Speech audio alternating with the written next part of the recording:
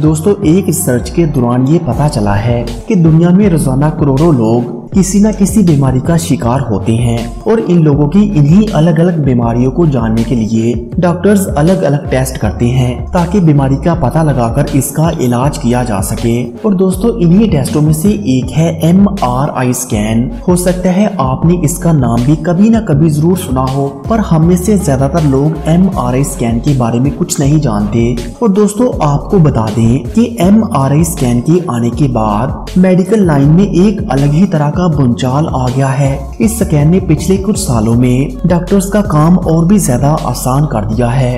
आज के वक्त में ज़्यादातर डॉक्टर्स मरीज़ के जिस्म की हर बीमारी का पता करने के लिए एम आर आई स्कैन का ही इस्तेमाल करते हैं। और ऐसा इसलिए क्योंकि एम आर आई स्कैन मरीज़ की हर बीमारी का पता बिल्कुल ठीक तरह से लगाता है। आज एम आर आई स्कैन किसी भी बीमारी का पता लगाने का सबसे आसान तरीका बन चुका है। इसलिए डॉक्टर्स ज़्यादातर मरीजों को एम आई स्कैन करवाने की सलाह देते हैं। ऐसे में आपके जहन में कभी न कभी तो ये सवाल आया ही होगा कि आखिर ये एम आर आई स्कैन होता क्या है और इसे किया कैसे जाता है? या फिर इसे करवाने से क्या कोई नुकसान भी होता है? दोस्तों एम आर आई यानी कि मैग्नेटिक रेजोनेंस इमेजिंग एक चुंबक के साथ होने वाला स्कैन होता है, जो कि तकरीबन 15 से 90 मिनटों तक का होता है। एम आर आई स्कैन होने में कितना टाइम लगेगा? ये जिसम के किस हिस्से का स्कैन होगा? इस पर भी डिपेंड करता है दोस्तों, आपको जानकर हैरानगी होगी कि जहाँ बाकी सारे टेस्टों जैसा कि एक्सरे सिटी स्कैन में रेडिएशन जैसी चीज़ों का इस्तेमाल किया जाता है, लेकिन वही एम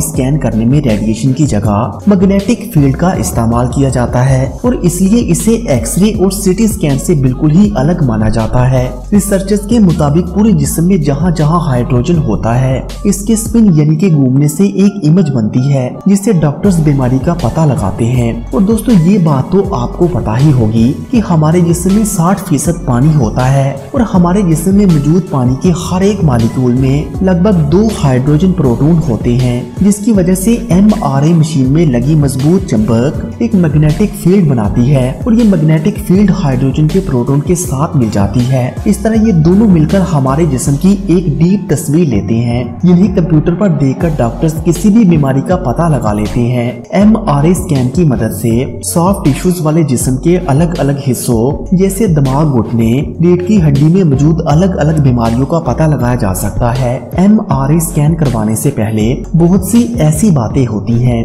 जिनका ध्यान रखना होता है, वरना इससे इंसान को काफ़ी मुश्किलों का सामना करना पड़ सकता है। कुछ लोग मानते हैं कि एम स्कैन से पहले कुछ घंटों तक मरीज़ को भूखा रहना पड़ता है। लेकिन दोस्तों, हम आपको बता दें कि ऐसा कुछ भी नहीं होता और जब तक डॉक्टर्स आपको भूखा रहने का ना कहें, तब तक आप खा पी सकते हैं और किसी भी दवा को हमेशा की तरह ही ले सकते हैं। हालाँकि कुछ केसेस में आपको स्कैन से चार से पाँच घंटे कुछ भी खाने से मना किया जा सकता है, पर ज़्यादातर मामलों में एमआरआई स्कैन से पहले खाने पीने पर कोई भी रोक टोक नहीं होती और कभी कभी तो डॉक्टर्स मरीज़ को एमआरआई स्कैन से पहले काफ़ी ज़्यादा मिकदार में पानी पीने का भी मशवरा देते हैं, क्योंकि मरीज़ के जिस्म में जितनी ज़्यादा मिकदार में पानी होगा, इसका एम स्कैन उतना ही ज़्यादा वाजिया और डीप होगा। एम स्कैन से पहले डॉक्टर्स मरीज़ से कई तरह के सवाल भी करते हैं और इनकी सेहत के बारे में जितना हो सके, इतना ही ज़्यादा जानने की कोशिश करते हैं, क्योंकि इससे इन्हें एम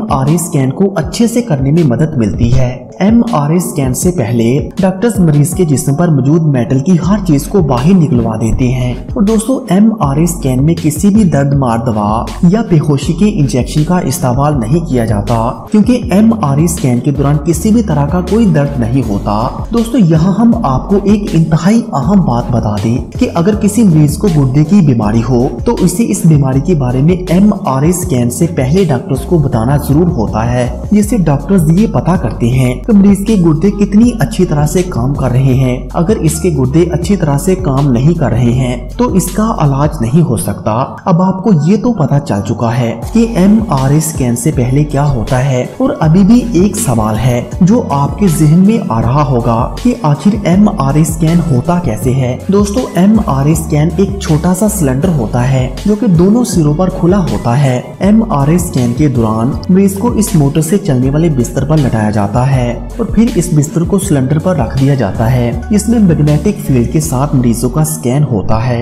मरीज़ के जिसम के किस हिस्से को एम स्कैनर के अंदर पहले ले जाया जाएगा? ये जिसम के किस हिस्से का एम स्कैन किया जाएगा? इस पर डिपेंड करता है। इसके बाद एम स्कैन मरीज़ का स्कैन करना शुरू कर देता है और तकरीबन 15 से लेकर 90 मिनट के अंदर ही मरीज़ एम स्कैन हो जाता है। एम स्कैन को ऑपरेट करने के लिए कंप्यूटर का इस्तेमाल किया जाता है। जिसमें एम आर ए स्कैन की हर छोटी से छोटी डीप इंफॉर्मेशन दिखाई देती है, जिसे देखकर ही डॉक्टर्स मरीज़ की बीमारी का पता लगाते हैं। कंप्यूटर में एम आर ए की तस्वीर को धुंधला होने से बचाने के लिए बहुत इम्पोर्टेंट है कि मरीज़ अपने जिस्म के स्कैन होने वाले हिस्से को तब तक सीधा रखे, जब तक कि रेडियोग्राफर आपको आराम करने का ना कहे। और इस तरह किसी भी मरीज़ का एम आर ए स्कैन पूरा होता है। लेकिन कुछ लोगों का मानना है कि एम आर ए स्कैन से लोगों की जान भी जा सकती है। तो आपको बता दे कि ये सच है। जी हाँ जिसम की जाँच के लिए बनी ये मशीन कई बार खतरनाक और जानलेवा भी साबित हो सकती है।